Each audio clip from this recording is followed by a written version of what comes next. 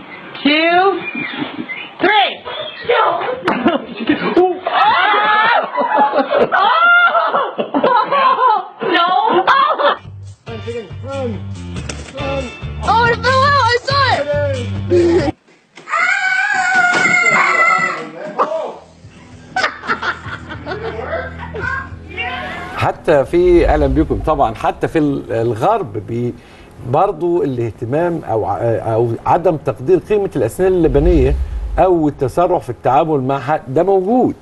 يعني آه، شفنا قسوه في التعامل مع أسنان الولاد الصغيرين. والولاد الصغيرين طبعا بتتألم وبتاع والأب بيضحك.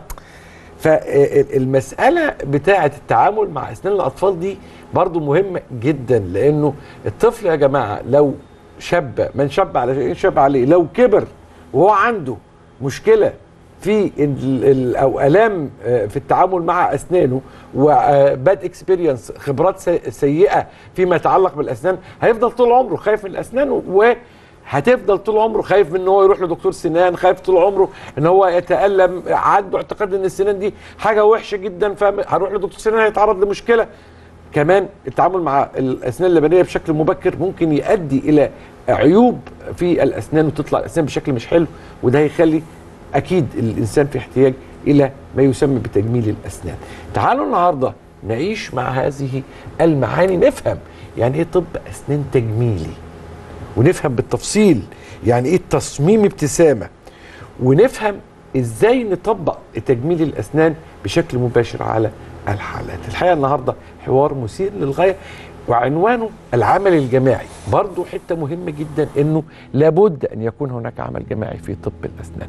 ده مهم وهنفهمه النهارده بالتفصيل مع ضيفي العزيز القيمة العلمية المتميزة صاحب الأداء المتميز الشارح المتميز بيعجبني أسلوبه الشرحي الدقيق جدا لحالاته وأيضا ب- آه، آه، الشرحي للشكل الأكاديمي. والحقيقة النهارده كمان هيكون آه، مش ضيف واحد بس معايا مش بس الدكتور كريم إبراهيم لأ هيكون كمان ضيف آه، آه، الدكتور كريم إبراهيم اللي هو ضيفي هيبقى آه، موجود معانا النهارده. كمان الدكتور عبد الله متولي الاثنين هيكونوا معايا بعد هذا الفاصل المهم جدا مع ضيفي العزيز الأستاذ دكتور كريم إبراهيم. الماشين ما بتشتغلش لوحدها دايما في حد بيشغلها وبالذات في نقطة الديزاين. أفكار الناس عن الزراعة ساعات بتبقى غلط خالص. مش معنى إن أنت فاقد مثلا 12 سنة إنك هتحط 12 زرعة. في إنجلترا يحاكموك. يحاكموا الدكتور اللي يعامل مريض السكر أكنه أقل من أي مريض عاطل. في تخصص نقدر نقول أهم في طب الأسنان. علميا مفيش حاجة اسمها كده. أعلى treatment option في العالم في تعويض الأسنان هو ال implants هو الزراعة. نسبة ال success rate بتتخطى ال 95% الأستاذ الدكتور كريم إبراهيم زميل الكلية الملكية لتجميل الأسنان جامعة إدنبرا استشاري التركيبات الثابتة لتجميل الأسنان المدرب المعتمد ببرنامج الزمالة الدولي لتجميل الأسنان.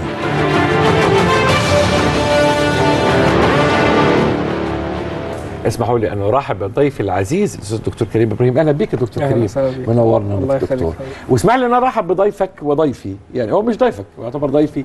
طبعا ولكن هو آه، أكيد جزء مهم من المركز البريطاني. طبعا النهارده الدكتور عبد الله متولي ماجستير التركيبات الثابته بكلية الطب جامعة عين شمس وأخصائي تجميل الأسنان في المركز البريطاني. أهلا بيك يا دكتور عبد الله. إزيك يا دكتور؟ منورنا الله يخليك.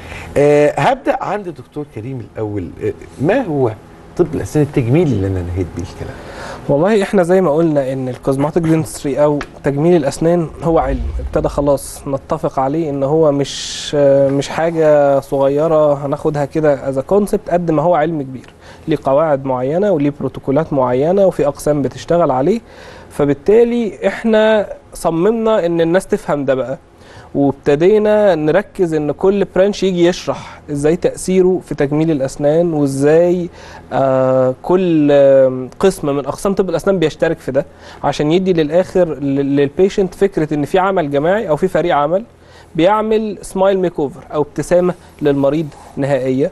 وزي ما إحنا كنا دايما هنا في البرنامج بداية لأي شيء جديد آه، قررنا إن إحنا نبقى بداية إن الناس تفهم إزاي فريق عمل طب الأسنان بيعمل تجميل للأسنان وإزاي بيجتمعوا كلهم فكل فترة هنبدأ نوضح قسم معين إزاي بيجتهد وبيشتغل عشان ينضم للمنظومة اللي في الآخر تعمل للمريض smile makeover أو تجميل للابتسامه إيه، برضو عايز أقرب أكتر طب الأسنان التجميلي. طب الأسنان كتعريف. آه. هو كتعريف إن الأسنان إحنا لما بنيجي نشتغلها بنشتغلها على مرحلتين.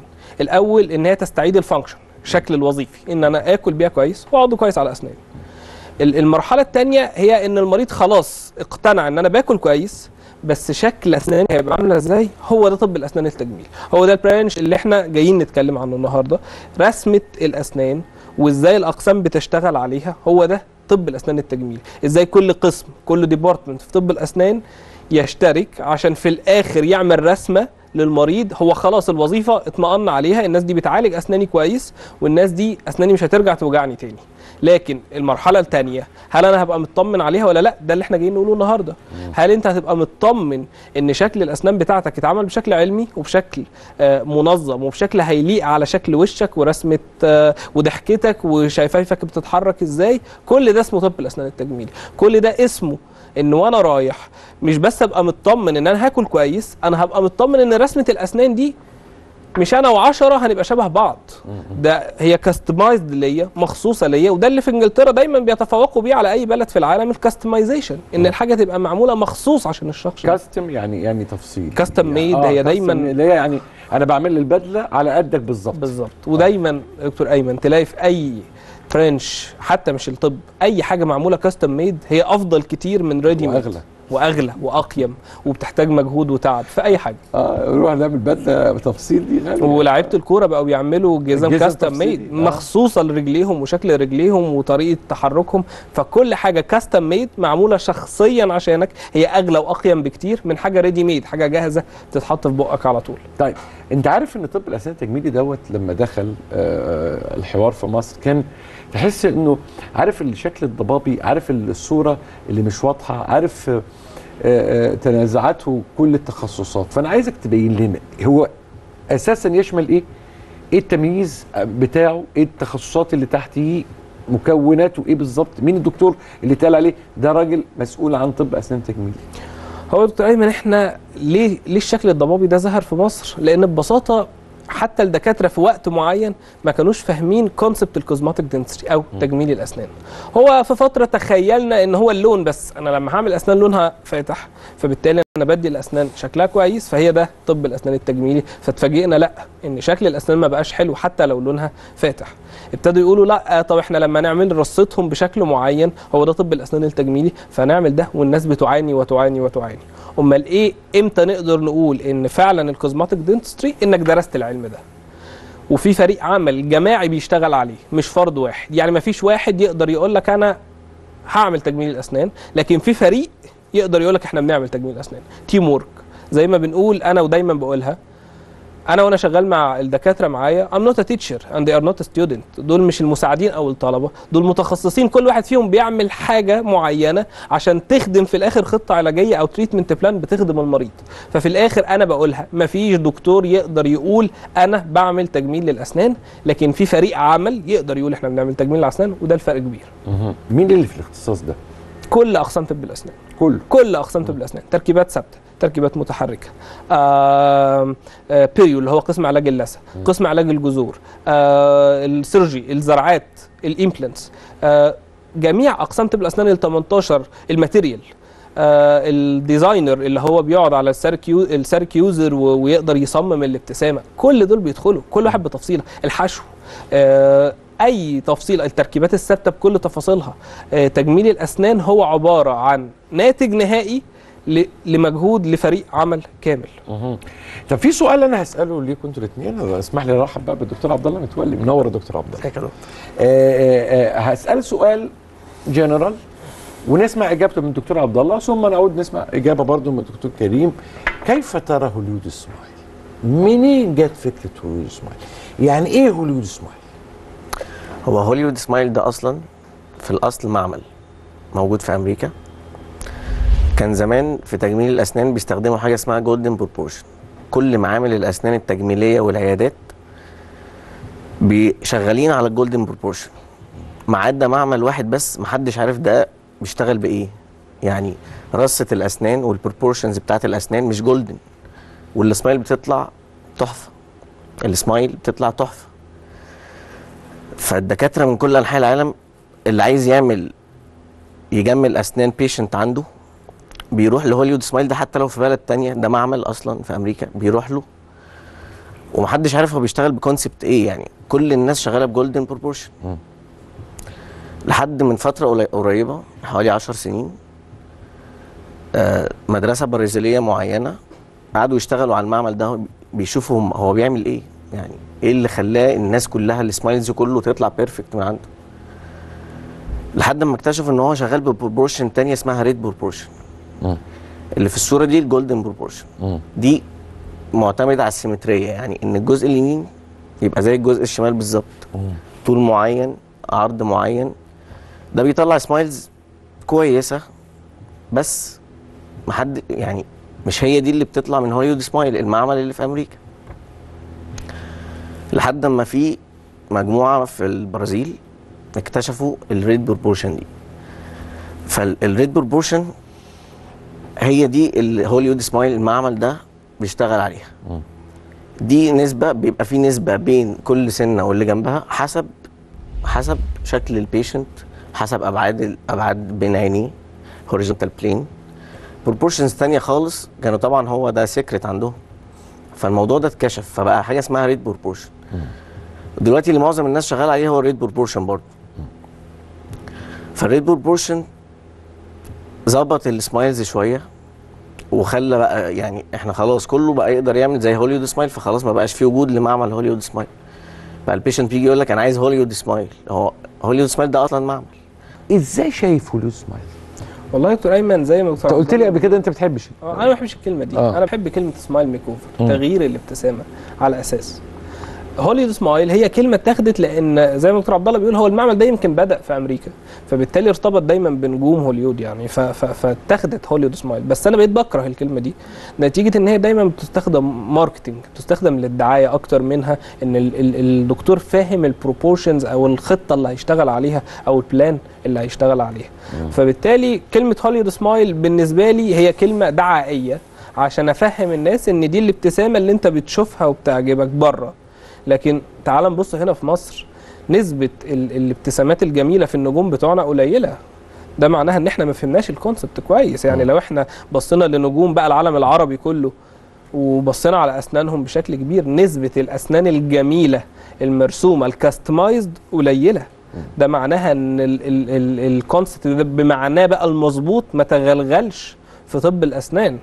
ف... فوده دورنا ان إحنا نفهم الناس ان Hollywood smile هي مش انك تجيب اسنان وتعملها بيضة وزي ما بنشرح بقى على طول إزاي بنشتغل, على تحليل الابتسامة بتاعتنا لكن فكرة رسمة الابتسامة تبقى حلوة وده اللي إحنا بنقوله على طول. طيب British concept smile ده تعبير تاني. اللي هو باللغة العربية ال- المأخذ البريطاني للابتسامة صح كده؟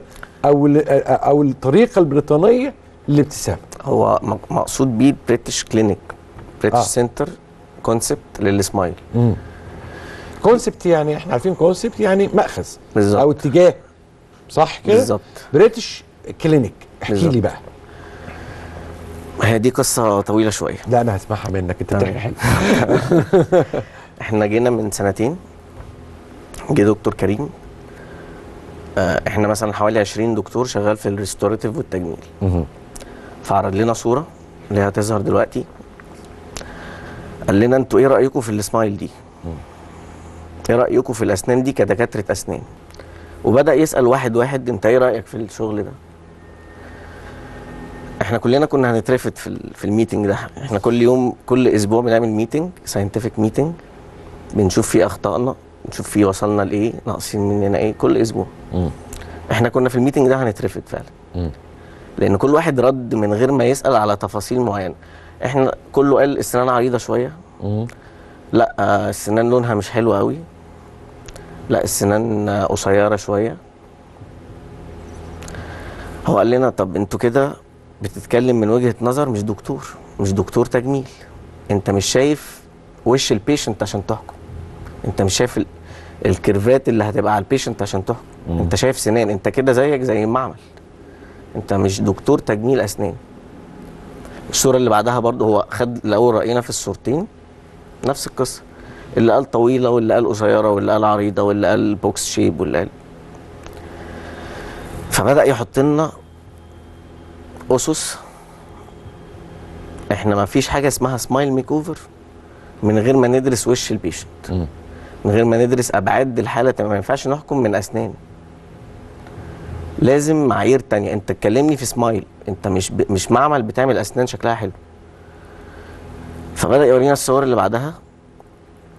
يقول لنا دي كده smiles نقدر نتكلم فيها. انت ممكن دي سمايل تقول لي دي حلوة ولا وحشة؟ ده حلو أوي. حلوة قوي طبعا. طبعا. طبعا. الابتسامة يعني. بالظبط. آه. بس بتكلم في السنان. تمام. وأنا كمان بتكلم. فبدأ يقول لنا إحنا كده نقدر نتكلم. أنا شايف وش ال patient لكن ما اقولكش السنان دي شكلها عامل إيه وانت تقول لي دي حلوة من غير ما تشوف ال patient طب ما انت لو ركبتها على حد تاني مش ممكن تطلع حلوة ممكن تطلع وحشة. فبدأ يحط لنا أسس إن إحنا خلاص ما فيش حد أسأله على سمايل أو إيه رأيك في ال case دي. أنت هتلاقي معظم دكاترة الأسنان بيعرضوا الحالة بيعرضوا ال cases بتاعتهم بالطريقة اللي هي الأولانية اللي هي شكل السنان. كده في. في. حتى في ال social media. بالظبط. آه. شكل الأسنان قبل وشكل الأسنان بعد. طب انت انت sorry يعني انت لو معمل عادي كده ماشي. انما انت كدكتور تجميل لا الموضوع يختلف. إحنا ممكن نتكلم في السمايل دي. ممكن أنا دكتور مثلا أقول ان هي محتاجة علاج لثه ممكن هو من وجهة نظره يقول لا إحنا بنتكلم في السمايل لكن ما نتكلمش في الأسنان. بس. طيب حلوة القصة دي. ماذا كنت تقصد بهذا ال exam السريع؟ والله يا دكتور أيمن زي ما إحنا قلنا هنا وبدأناها هنا إن فكرة ال smile makeover أو تغيير الابتسامة مش أسنان جميلة دي ابتسامة جميلة. وفرقوا لي بين ال two concepts فارق السما بين الأرض. أسنان جميلة حاجة وابتسامة جميلة حاجة سمايل حاجة وأسنان حاجة. أنت ممكن تعمل تبص على رسمة الأسنان تقول هي حلوة قوي لكن لما تشوفها على الشخص تلاقيها مش حلوة خالص ملهاش أي علاقة بيه. وده اللي كانوا الفنانات في مصر دايما بيعانوا منه. إن هي تبص على رسمة الابتسامة على جهاز ال CEREC وهي قاعدة مع الدكتور تحس إن الابتسامة حلوة قوي اعملها لي يا دكتور. once إن هي تعملها وتحطها في بقها تلاقيها شكلها مش لايق عليها خالص. ليه؟ مفيش customization مفيش فكرة إن أنا آه بعمل الحاجة دي custom made ده أنا بعمل رسمة وبحطها عليك ايا كان. وابتدينا نطور القصة دي دكتور ايمن وإحنا أول ناس عملناها هنا. فكرة إن أنا مش بتعامل مع شخص ثابت كمان يعني إحنا ما بناخدش صورة بس عشان نقعد نبص عليها ده إحنا بناخد فيديو لأن الشخص ده بيتحرك.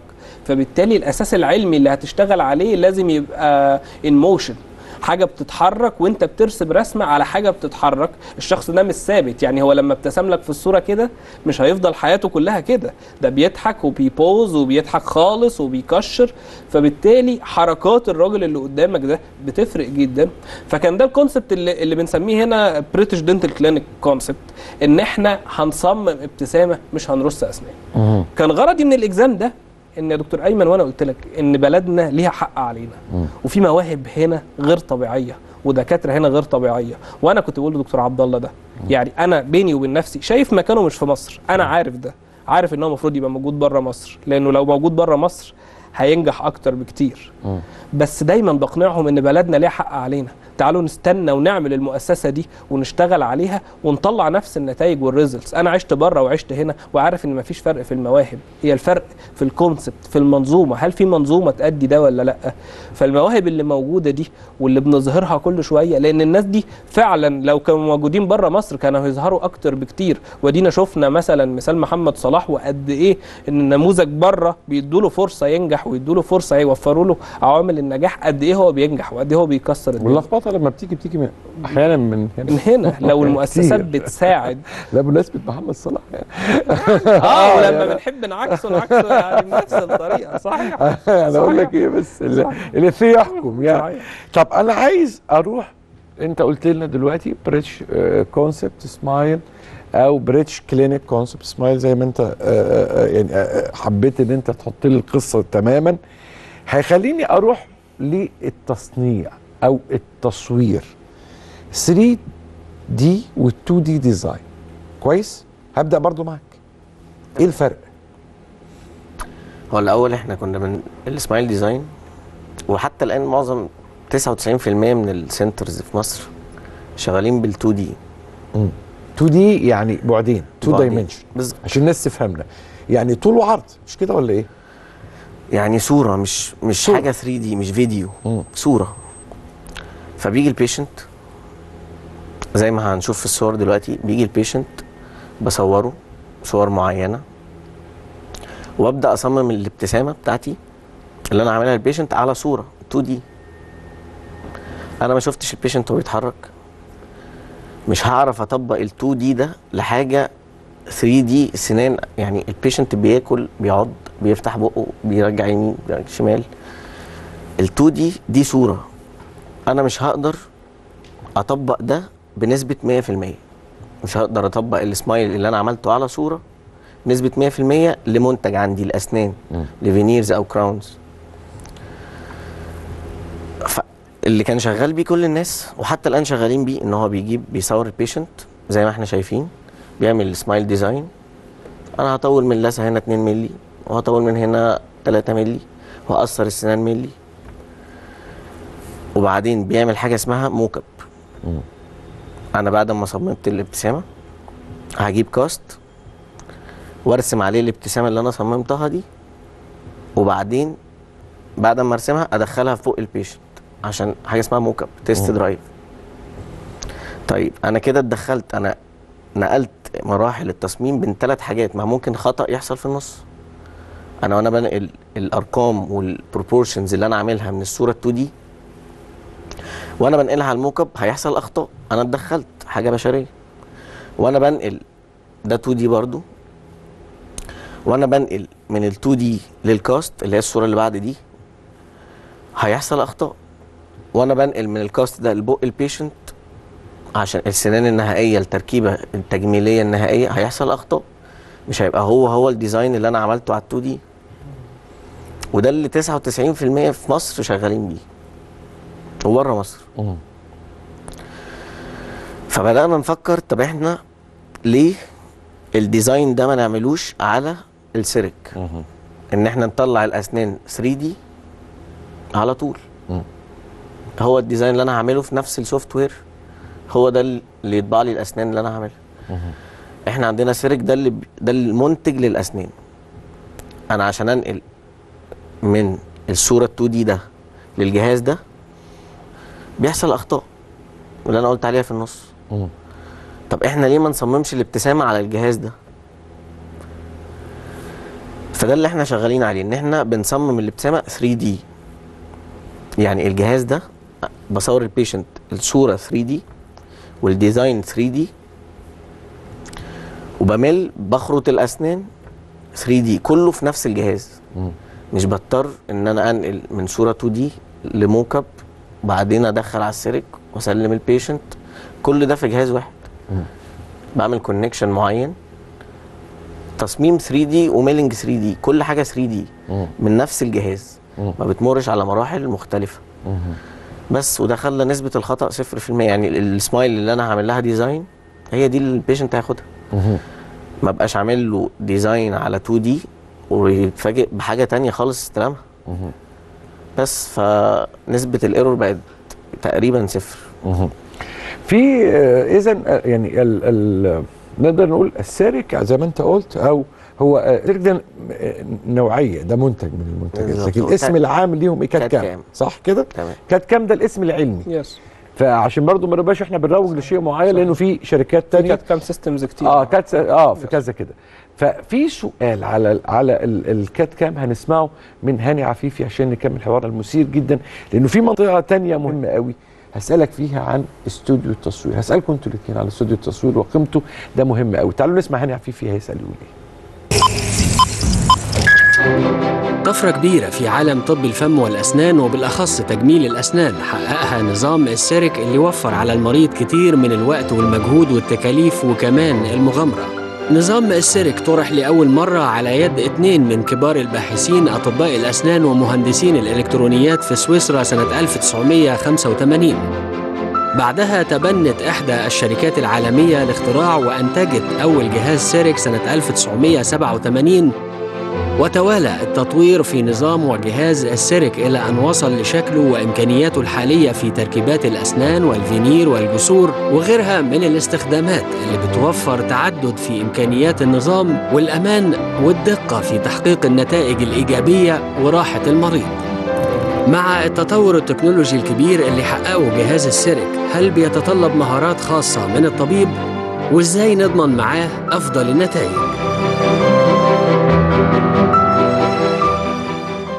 قبل أن أذهب للتصوير هو ده كان سؤالي ليك. كلام الدكتور عبد الله يشير إلى إنه الجهاز بيقوم بكل شيء. فالمريض سيقول إذا نبحث عن الجهاز ولا نبحث عن الدكتور.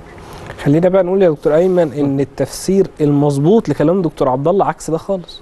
آه. يعني خلينا نقول اللي دكتور عبد الله بيقوله هو عكس الجملة دي بالتحديد. مهم. هو دكتور عبد الله عايز يقول إيه؟ إن جه... وجود جهاز السيرك لوحده يولد لك أخطاء كتير. ليه؟ لأن أنت هتعمل الديزاين عليه 2 دي وبعد كده عايز تحوله ل 3D اللي هو ال mock-up بقى اللي في بق ال patient عشان تقدر تشوفه. هو دكتور عبد الله عايز يقول لو في راجل محترف عبقري يقدر يجيب software ويشتغل 3D على ال CEREC هيعمل للمريض نسبة error صفر. ليه؟ لأن ما بقتش صورة على ال CEREC. ده بقى حاجة بتتحرك على ال CEREC وأنا بعمل ال design 3D على ال CEREC. فالمعنى اللي دكتور عبد الله عايز يقوله عكس ده خالص. ده عايز يقول إن وجود جهاز ال CEREC لوحده في خطوات كتير ممكن تعمل أخطاء. لكن لو قدرنا نستخدم software 3D وما أدراك ما صعوبة وتقنيات ال 3D وإن اللي بيستخدمها محترفين ويتعدوا على الصوابع في مصر تستخدم ال program أو ال software ال 3D على ال CEREC ده معناها ان انت بقت ال CEREC قدامك حاجة بتتحرك وبتعملها 3D فبالتالي نسبة ال error في النتيجة النهائية صفر. فمن أول يوم قلنا هنا إن الدكتور اللي قاعد وبيشتغل هو الأعظم في المنظومة هو الأهم في المنظومة. إنك إزاي تطور الحاجة اللي قدامك وتستخدمها بشكل مظبوط. ونسبة ال 99% اللي قالها مش في مصر بس وبره مصر.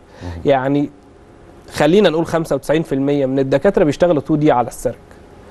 اللي يقدر يشتغل 3 دي هم ناس قلائل يتعدوا على الصوابع. إذا كانت داخل البلد أو خارج البلد وما زالت التكنولوجيا بتتحرك وما زال كل يوم عندنا جديد وهو ده اللي إحنا دايما عايزين نعمله في المركز البريطاني إن إحنا نبقى على قدر الايميتيشن على قدر الموازاة مع أي حتة برة ومع على قدر إن التكنولوجيا بتتحرك وإحنا بنتحرك وبنفهمها وبنشتغل بيها أحسن.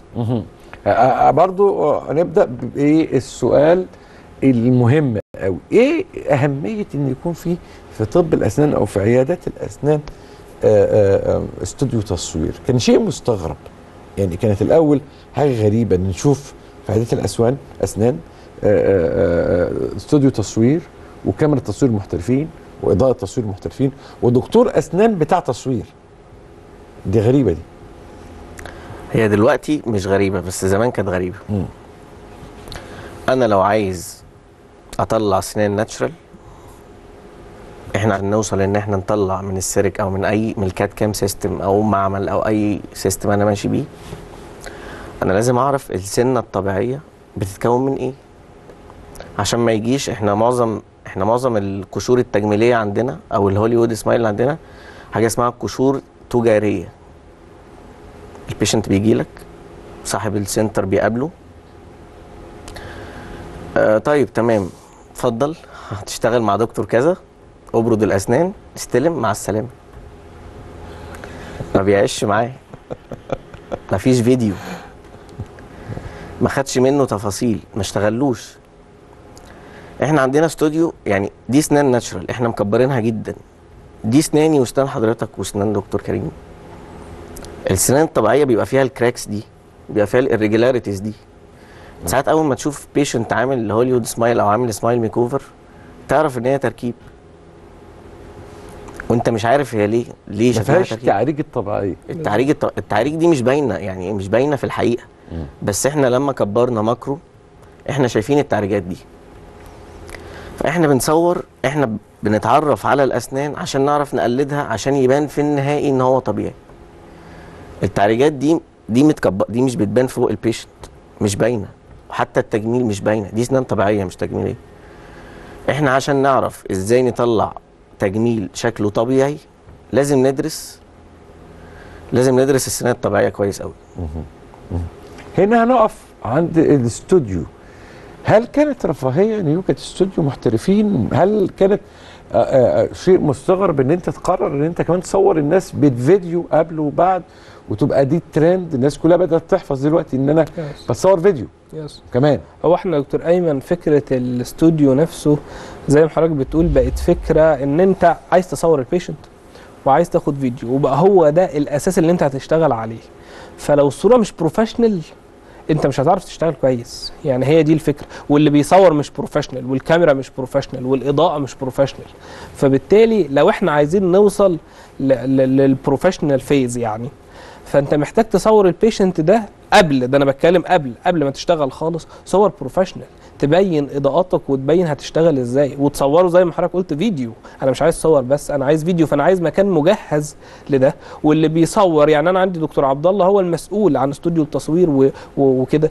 لازم يبقى محترف. لازم يبقى فاهم بيصور منين ومن أنهي زاوية والزاوية دي هتفرق في الإضاءة ولا لأ. ودي حاجات تفاصيل إحنا مش بناخد صورة وخلاص. لازم اللي بيصور يبقى فاهم بيصور إيه. والصورة دي هتخدعه ولا مش هتخدعه وهتبين له إيه ومش هتبين له إيه. فاستوديو التصوير بقى حاجة مهمة لازم أصور في استوديو لازم أصور في مكان مخصص عشان أقدر أستخدم ال- ال professional way من الكاميرا والراجل اللي بيصور عشان أقدر أشتغل عليها وأعمل design مظبوط. طب إحنا عايزين نشوف أنتوا بتشتغلوا إزاي على الحل؟ يعني عايزين نطبق ال- ال- الشغل practical أو آه، يعني كأنه clinical ف آه، آه، اولا هبدأ برضو معاك في الحتة دي. الحالة الأول كام يعني بيبقى الاجتماع فيه كام حد؟ والله هي ال- الحالة الأول بتبقى معايا. نبدأ نتكلم في treatment plan خطة علاجيه خطوط عريضة للوضع. والله أنت عايز smile makeover خلاص اتفقنا. ابتدينا نحط الخطوط العريضة. و- وينزل بقى على طول directly خلاص أنت راجل جاي تعمل تجميل انزل على الاستوديو على طول. يبتدي بقى يقابل دكتور عبد الله. هو الراجل اللي بيبدأ يصوره ويبدأ يشتغل على التصميم بتاعه. وبعد كده بعد الصور وال videos اللي دكتور عبد الله بيشتغل عليها نبدأ نشوف إحنا محتاجين كام قسم. ما انت صورت وعرفت مناطق القوة والضعف. والله إحنا محتاجين قسم علاج اللثة والله إحنا محتاجين أشعة مقطعية والله إحنا محتاجين راجل بتاع تركيبات ثابتة والله إحنا محتاجين زراعة والله إحنا محتاجين آه آه أطفال لو لو الحلقة تحتاج أطفال تقويم محتاجين نسأل الراجل بتاع التقويم في حاجة نبدأ نجمع مين المتخصصين اللي موجودين معلش في اجتماع النهارده بالليل على الحالة دي عشان هنبدأ نحط ال design أو التصميم بتاعها. تبدأ الصور تتعرض ودي الصور اللي إحنا بنشوفها على الشاشة ونبدأ نشوف المريض ده في جميع الأوضاع وضعه إيه؟ وكل متخصص يبدأ يقول وجهة نظره في ال case في الحتة بتاعته. لا والله لسه لازم أشتغل عليها على الشكل الفلاني. لا والله التقويم هيقول إن أنا عندي وضع معين. لا الأشعة المقطعية هتقول إيه؟ لا الدكتور ده هيقول إيه؟ ونبدأ نحط الخطة النهائية ونبدأ نعيش فيها كلنا مع بعض.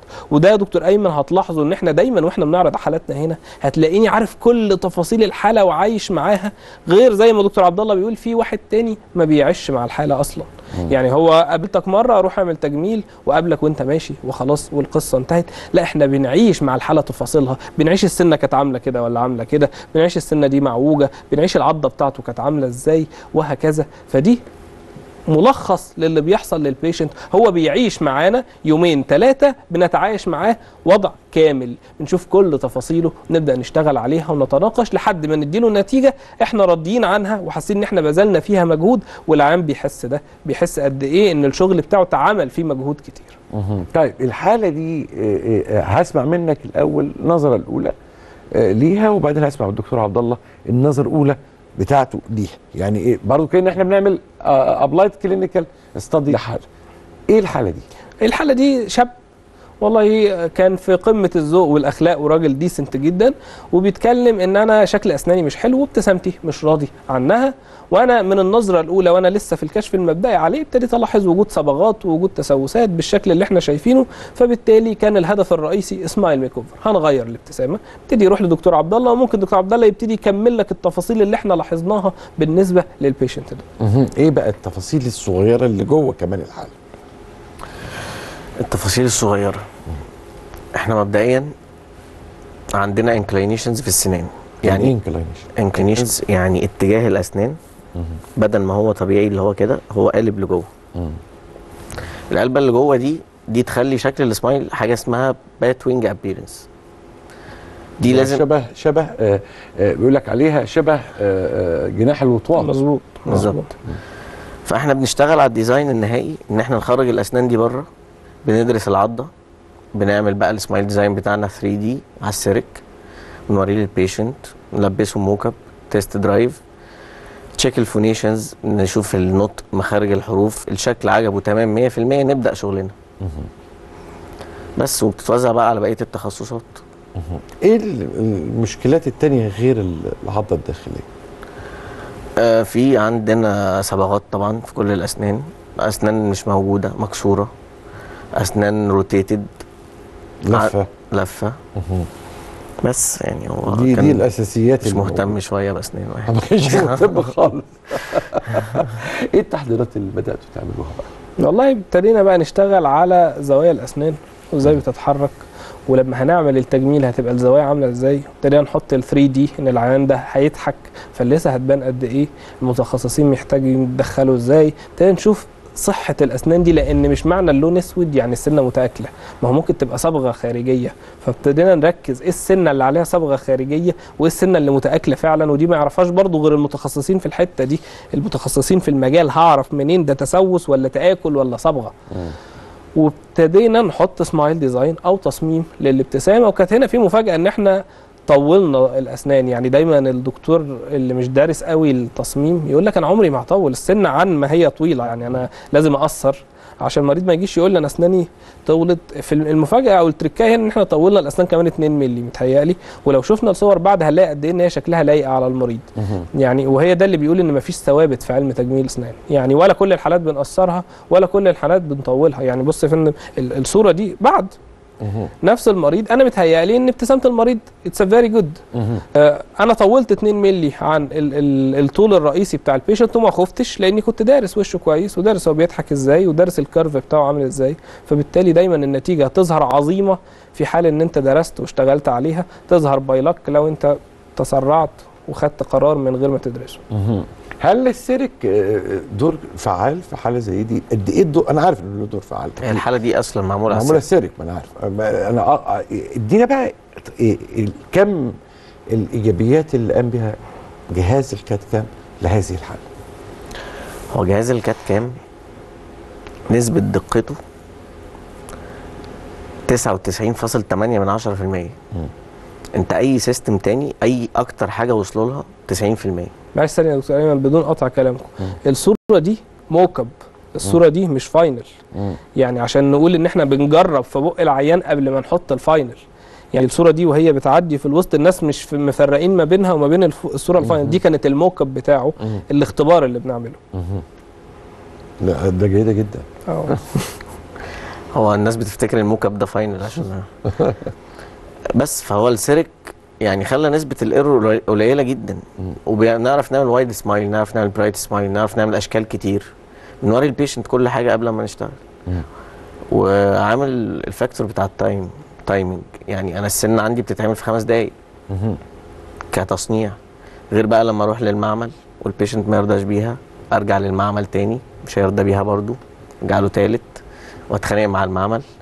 لا إحنا ما فيش الكلام ده كله. إحنا السيريك خمس دقايق ال- السنة بتكون معمولة.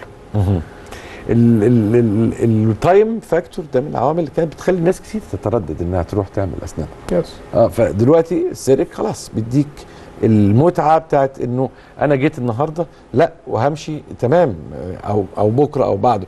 وعلى فكرة ده الاثنين النهائي ال mock-up. والنهائي. هو يعني آه، من الشطارة إنك تعرف من فيهم النهائي. yes هو ده ال 3D smile design ان, آه. إن إحنا ال mock-up هيطلع هو هو النهائي مفيش فرق بينهم. يعني مش هوري ال patient test drive بحاجة ويطلع النهائي حاجة تانية. ده ال 2 ده الفرق بين ال 2D وال 3D لما نروح للعيان ليه بتصوره وهو بيبتسم؟ ليه وهو بتصوره؟ بعد وبتو... أو قبل بتوريه ال- ال action ال dynamic بتاع الوش. طب ما كفاية إن هو يفتح بقه خلاص. إحنا قلنا يا دكتور أيمن إن أنت بتتعاملش مع صورة أنت بتتعامل مع حاجة in motion هي حاجة بتتحرك. فبالتالي هفترض إن العيان ده الشفايف بتاعته بتتحرك لفوق جدا. فبتكشف جزء من اللثة كبير جدا. فأنت لازم تبقى عارف ده لأن رسمة الأسنان هتعتمد على ده والعكس صحيح. فبالتالي لازم الناس تقتنع إن أنا بصمم مش على صورة ثابتة أنا بصمم على حاجة بتتحرك. لازم تشوفها بتتحرك قبل ولازم تشوفها في الموكب ولازم تشوفها في الفاينل. نفس التصميم اللي انت عملته بيتحرك في الثلاث مراحل وخطتك اتنفذت بنجاح. إيه الحشوات التجميليه التطور المذهل فيها؟ هو زي ما قلنا يا دكتور إن كل متخصص بيبقى حابب يتكلم في التخصص آه. بتاعه ويشتغل انت restorative آه فأنا آه. restorative متعود إن أنا دايما آخد من كل branch الحتة اللي محتاجاها ال plan ال- الحشوة هي بقت حاجة بتضيف لينا ليه؟ لأن ال ceramics اللي بنشتغل بيها شفافة قوي. بتشف وده جزء من جمالها ميزة يعني. بس في نفس الوقت تتحول لعيب لو الحشوة اللي تحتيها مش ملائمة للوضع النهائي. يعني لو الحشوة دي غامقة الشفافية بتاعت السيراميك هتتحول من ميزة لعيب لأنها بقت بتشف حاجة تحتيها مش مرغوب فيها. فبالتالي اللي بيعمل الحشو وبيجهز السنة إذا كان عشان يستعيدها بشكل كويس لازم كان يبقى عارف في الخطة وفي اجتماع ال plan. أنتوا هتحطوا سيراميك عامل إزاي؟ يعني أنا عندي سيراميك اسمه Empress شفاف جدا وعندي الايماكس أقل شفافية شوية وعندي الزيركونيوم قاتم تماما. فأنت لازم تبقى عارف السنة دي هتتحشي بأنهي لو هتحط يعني فيلنج أو هتحط حشوة لازم تبقى عارف هتحط فيلنج إيه فبالتالي هيشف إيه فهستخدم سيراميك درجة شفافيته إيه. عشان لو هيشف قوي لازم تبقى عامل حسابك على ده. فاهتمامنا بالحشو في الفترة الأخيرة ناتج عن إن السيراميكس بقت شفافة بتكشف فانت بالتالي لازم تبقى عامل حسابك على دي كويس قوي إمتى نلجأ للحشوات التجميليه نلجأ نلجأ ليها دايما لما هستخدم سيراميك شفاف. لازم يبقى شكل الحشوة حلو لأنها هتشف فبالتالي لازم تبان شكلها كويس أو مناسب للسن. هسألك برضو بقى عن القشور التجميلية. فينيرز الفينيرز تصميم بتاعها. والفينيرز ناس كتير بتميل لها. ما أعرفش هل آه، ميل الناس ده يضرهم ولا ينفعهم ب- برؤية عامة لأنه في ناس بتروح تقول أنا عايز أعمل فينير وهي ما ينفعهاش إنها تعمل فينير. ويصمموا. يقول لك أنا مش عايز أبرد سناني قوي. أنا عايز حاجة. طب ما يا باشا أنت حالتك ما فيهاش فينيرز. وضح لي الحتة دي. هو الفكرة الخاطئة عند البيشنت عموما عن الفينيرز جت من الماركتنج الغلط اللي اتعمل لها. هو اتعمل ماركتنج للفينير تعالى اعمل قشور تجميل هوليوود سمايل بالفينيرز من غير ما نبرد أسنانك مش هنلمس أسنانك. لا وطلع حاجة كمان من غير برد أسنان أساسا اسمها لومينيرز اللي هي بريبلس فينيرز. البريبلس فينيرز يعني هي فشلت بنسبة 95% 90% ليه؟ صريح قوي أنت. صريح. آه. عاجبني صراحتك لا بجد والله صريح صريح بدرجة علمية. دايما دايما المذاكر قوي يبقى صريح اتفضل. فاللي هي اللومينيرز البريبلس فينيرز هي ليها مواضع معينة تتحط فيها. إنما أنا ما أجيش أعمل فينير من غير ما أبرد الأسنان خالص. إحنا مش بنبرد الأسنان إحنا بنخشن الأسنان. أنا لو حطيت طبقه على سطح السنة من غير ما أسيب مساحة كافية للطبقة دي هعمل بروز للأسنان. اللثة هتتأثر. هيبقى عندي ضب فالماركتنج اللي اتعمل أنا بقول للبيشنت تعالى ومش هلمس أسنانك ومش هعمل أي حاجة. إحنا فعلا مش بنلمس الأسنان مش بنضر الأسنان إحنا بنخشنها. وده صحيا أفضل من إن أنا ما- لمستهاش خالص. فهي اتعمل لها ماركتنج غلط يعني. وكمان تسويق غلط. فكرة تسويق. اتقال للعيانين أو للناس فكرة ثبتت في نفوخهم بطريقة غلط. اللي هي نفس فكرة تعالى أعمل لك تجميل في نفس اليوم في جلستين. ما إحنا ممكن نعمل كده. إحنا السيرك بيعمل كده. بس أنا ما عشتش تفاصيل البيشنت ما عشتش تفاصيل ضحكته. هو الماركتنج اللي شغال دلوقتي تجميل الأسنان في يومين تجميل الأسنان في نفس الجلسة في نص جلسة. أنت بتجمل أسنانك كلها اللي هتعيش بيها طول عمرك في جلسة؟ يا راجل ده الواحد بيعمل شوبينج في كام يوم؟ في 12 يوم. آه يعني البنات بتنزل تعمل شوبينج على مدار شهر وأنت على الأقل بتعمل شوبينج في يومين لما تحب تشتري حاجة. أنا رأيي أي بيشنت يخش أي سنتر الدكتور يعمل له يعمل معاه انترفيو آه إحنا هنجمل أسنانك وهتستلم بكرة. أنت اخرج بره بره الكلينيك دي وما تروحش هناك تاني. أنت كده أنت في يعني جوه الماركتنج اللي بيتعمل عليك أنت تروح سنتر الناس تدرس حالتك تعرفك مزايا الفينير عيوب الفينير مزايا الكراون عيوب الكراون أنهي أنسب لحالتك يدرسوا الحالة. مش هو مش آه، مش سلق بيت. فول هوليوود سمايل يلا بكرة ومع السلامة. مش سلق بيت. انت. عايز تقول مش سلق الحقيقة أنا أنا سعدت جدا بلقائي معكم النهارده. ومبسوط جدا إن أنت بدأت تطرح فكرة العمل الجماعي بشكل آه، يعني استثنائي. وإحنا آه، حتى هنشوف ناس كتير من المركز البريطاني. ما كل مرة كده هن- هنشوف آه، يعني حد لأنه مش هنقدر نشوف كلهم مرة واحدة. مش مع بعض كلهم يعني هناخد طبعا. إيه آه، آه، أجزاء كده ثلاث دقائق من كل واحد يحكي لنا آه، تخصصه يحكي لنا قصته هتبقى هيبقوا هيبقوا معانا بشكل. أو بآخر. بس سعيد جدا بوجودك دكتور عبد الله النهارده ما. شاء الله مذاكر قوي ما شاء الله مركز قوي مستغرق قوي في طب الاسنان يعني تحس إن هو يعني آه، آه، مهموم حتى بالمشاكل المحيطة بسياسات التسويق الخاطئة حوالين طب الأسنان. النهارده أنت آه، زي ما بيقولوا فضحت حقائق مهمه جدا إنه اليومينير فشلت إنه الدليفري دكتور أو الدليفري ريسبشنست الذي يقوم بدور الاستقبال والسلام على المريض وإعطائه لأي حد وبعدين السلام عليه في المرواح ده شيء غير مقبول صح كده؟ تمام. حلوة الدليفري صح؟ صح. آخر حاجة بقى قبل ما نمشي كيف ترى فريق عملك؟ والله أنا شايف إن إحنا في مصر عندنا مواهب غير طبيعية وناس تقدر ترفع مستوى طب الأسنان في مصر. مراحل أعلى من كده بكتير في طفرة حاصلة في طب الأسنان وإحنا محتاجينها. الناس دي ما ينفعش تتساب وتسافر بره مصر لأن وجودها هنا مهم والبلد دي زي ما قلت 100 مرة ليها حق علينا إن إحنا نجتهد عشان نرفع من شأنها.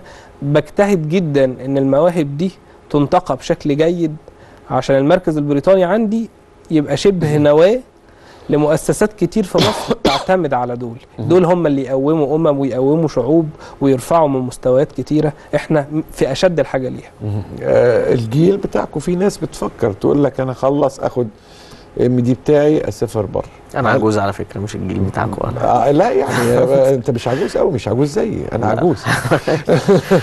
أنا أنا اللي عجوز. لا لا. هل ترى هذا هو في الجيل بتاعنا كان ناس كتير بتفكر كده. هو أنا كنت بفكر في كده. بس آه لا يعني في سنتر فتح لي فكرة إن أنا أطبقها في مصر. فخلاص نطبقها في مصر. ما أنا كنت بصراحة يعني حاطط في دماغي إن أنا أسافر طبعا. بس ما دام في حد مؤمن بالفكرة فخلاص أنا موجود هنا. لا خليك موجود. ماشي حاضر. خلينا كلنا موجودين في مصر. خلينا كلنا نقدم شغل في مصر. ضيفي العزيزين ضيف العزيز المبدع دائما دكتور كريم آه، إبراهيم نورتنا الله دكتور كريم وأسعدتني بهذا الحوار الممتع. طبعا ضيفي ال- الجميل العزيز دكتور عبد الله متولي الذي آه، آه، أضاف النهارده إضافات مذهلة في عالم المتخصص فيه الخاص بطب الأسنان التجميلي ال- آه، اتكلم على السيرك بطريقة آه، تاريخية مهمة جدا. حكينا قصص مهمة جدا متعلقة بالحالات تشخيصها الوصول معها إلى القرار السليم الخطة العلاجية التأني في اتخاذ القرار. هذا أمر مهم للغاية. برضو اتكلمنا في السياسات التسويق الخاطئ والأفكار الخطيره التي أصبحت في كل فروع الطب. يبقى المتخصص هو الأفضل. المبدع هو أن يكون متخصصا والعمل الجماعي هي قمة الأداء في العالم الطبي. العمل الجماعي مهم جدا جدا جدا. وخليكم فاهمين يعني إيه عمل جماعي وده هيجي بعد كده. وخليكم دايما مع الدكتور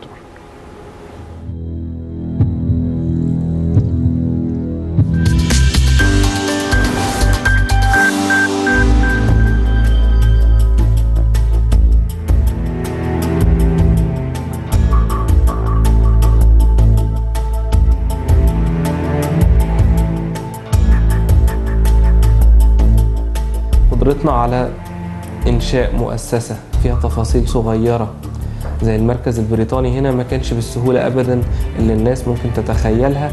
إنشاء مؤسسة تحتوي على جميع تخصصات طب الأسنان بجميع تفاصيلها آه، تحتوي على من 18 ل 20 دكتور آه، بجميع الأعمار السنية. عايزين نستفيد من خبرات آه، دكاترة على مدار 30 و40 سنة في في ماركت الأسنان وفي اكسبيرينس في الماركت والكلينكس وعايزين نستفيد بالشباب الصغير اللي عنده الريسنت ريسيرشز والأبحاث الجديدة وكيفية إن إحنا ندمج ده عشان يشتغل. الناس دي كلها از تيم وورك أو كمجموعة تقدر تقدم للمريض المصري والمريض العربي نوع آخر من طب أو من الخدمة الطبية اللي هو محتاجها اللي كان مفروض إنه بيسافر لها أوروبا عشان يحققها ده كان حلم كبير عندي. المركز البريطاني بالنسبة لي هو فكرة أكتر منها مكان أو مؤسسة ليها مكان معين قد ما هي فكرة لو اتغلغلت في في دماغ ال- ال- الدكاترة والجيل الجديد في طب الأسنان ممكن نحدث طفرة أكتر من اللي حاصلة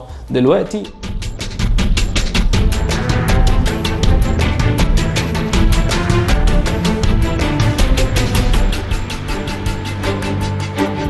بنقول مؤسسه أو صرح طبي على أساس إن هو مكون من آه، يعني إدارات كبيرة موجودة جواه.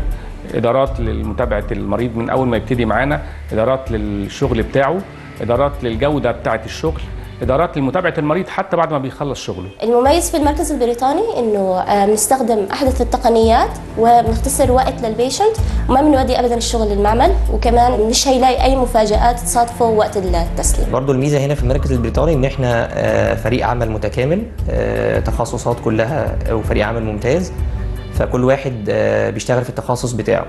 يعني أنا بي أنا تخصص علاج العصب بيجي لي المريض بعمل له علاج العصب بيخرج من عندي بعد كده على آه، دكتور التركيبات أو دكتور الزراعة ايا كان. فده بيضمن إن الشغل يبقى 100% بصورة ممتازه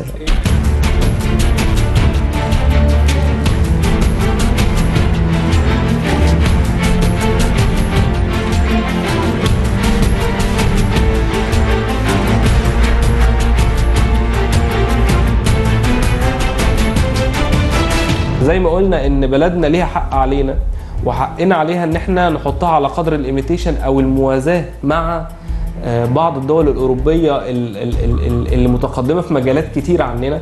أقدر أقولها بصراحة إن طب الأسنان إحنا على قدر الموازاة على قدر الايميتيشن نقدر نقول إن إحنا أنشأنا مؤسسة تسمح بده وتسمح للمريض العربي والمريض المصري إن هو يطمن لده. من زمن كان دايما الطبيب المصري ليه قدر كبير ودايما السياحة العلاجية كانت عندنا بتتوفر في فترة ال- ال- القصة دي تراجعت بشكل كبير في مجالات طب لكن في طب الأسنان الحمد لله مع جيل جديد صاعد كله آمل. أنا بشوف في عيون ال- الطلبة اللي عندي قد إيه آه، اهتمامهم بالتفاصيل وقد إيه تركيزهم إن هم يشتغلوا على أبحاث ونتائج جيدة. فخلينا نقول في الآخر إن المكان ده ممكن يكون نواه لفكرة آه، تخلي البلد دي لقدام فترة طويلة ونقدر نستمتع إن إحنا آه، شاركنا ولو بجزء بسيط في رفع اسم بلد زي دي.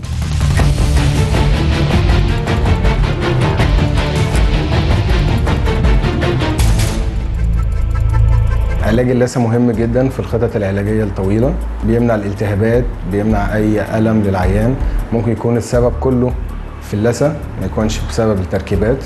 الشكل الضحكة شكل المريض وهو بيتكلم آه، تبقى لايقة على وشه لايقة على ضحكته. وطبعا جزء اللثة اللي بيبان لازم يبقى جزء محسوب جدا عشان يب- يبان مع الضحكة كويس. إحنا بنحتاج عشان نحدد آه، أطوال اللثة إن إحنا نصور المريض كذا صورة آه، صور وهو بيضحك صور وهو في, وضع ال ال ال البوز. صور آه، من اليمين صور من الشمال بنصور العيان فيديو للحركة بتاعته عشان تبقى ثلاثية الأبعاد. تشوفه هو بيضحك وهو ساكت وهو بيتحرك. أنهي جزء من اللثة بيبان؟ أكيد طبعا اللثة مهمة بالنسبة للزراعات لأن في الآخر وفي الأول ال- ال- العيان مش جاي آه، يزرع زرعة هو جاي يعوض سنة سنة ناقصة مش موجودة. آه، فأي عيان في الدنيا عاوز يحط يزرع الزرعة ولما يضحك أو يبتسم آه، ما تبانش إن هو زرع حاجة وإن هو مركب حاجة. آه، فمش مجرد بس إن لون السنة أو التركيبه فين ده مهم لأ كمان اللثة وشكل اللثة إن هو يكون طبيعي حواليها. ما فيهوش أي لون لون طبيعي ما فيهوش أي حاجة مش شافف لون الزرعه العظم حتى حوالين اللثة مهم.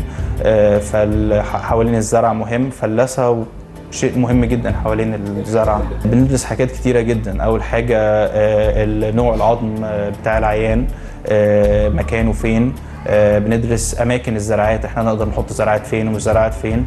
آه، في حاجات كتير قوي بتحكمنا زي زي حاجة إحنا بنقول عليها الاناتومي بتاعه العيان الحاجات اللي إحنا ينفع نحط فين وما ينفعش نحط فين. فاتجاهات الزراعات مهمة جدا. إن أنا آه، الدراسة اللي إحنا بنعملها في الأول على الأشعة اتجاه الزرع لازم يبقى مهم إن أنا أتفادى إن أنا أخش في عصب.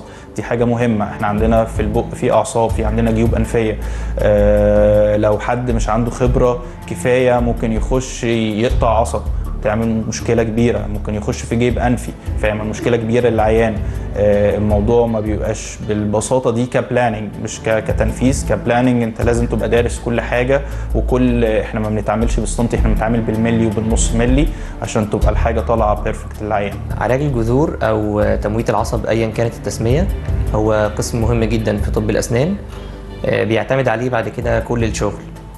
فلو جالي مريض محتاج يعمل علاج جذور لازم يبقى شغلي آه، 100% صح عشان خاطر بعد كده لما يعمل تركيبة أو حاجة ما نضطرش نعيد الشغل من أول وجديد. مسألة الوقت بقت آه، مسألة نلعب فيها بسهولة قوي يعني خلاص ما بقاش بقى ياخد جلستين وثلاثه لا في جلسة واحدة بنخلص وأكتر من ضرس كمان. المريض لو أهمل طبعا إن هو يعمل علاج جذور بط- بطريقة صحيحة آه، ده هي بعد كده هيؤدي إلى مشاكل كتير قوي. أولها إن ممكن يحصل خراج ممكن يحصل ورم. آه، يخليني إن أنا أعيد الشغل من أول وجديد خاصة لو عاملين تركيبات هنضطر إما إن إحنا نشيلها وممكن ال- السنان اللي تحتيها تتكسر. فلا شغل العصب آه، هو لازم يكون معمول بصورة 100% ممتازة. حلم حلمت وأنا كنت في إنجلترا وشفت قد إيه كيفية التقدم وكيفية التنظيم اللي بيتم في المؤسسات الإنجليزية وصممت ولك أن تتخيل قدر الصعوبة اللي الواحد كان بيتخيلها وهو راجع مصر. وبيفكر ينشئ مؤسسة بنفس الفكر ده. خدنا وقت كبير عشان أقدر أظهر الشكل المكتمل ده لأنه كان في الأول بنقدر نجمع بعض الرتوش لحد ما نوصل للشكل المكتمل. المركز البريطاني بالنسبة لي هو فكرة أكتر منها مكان أو مؤسسة ليها مكان معين قد ما هي فكرة. لو اتغلغلت في في دماغ ال- ال- الدكاترة والجيل الجديد في طب الأسنان ممكن نحدث طفرة أكتر من اللي حاصلة دلوقتي.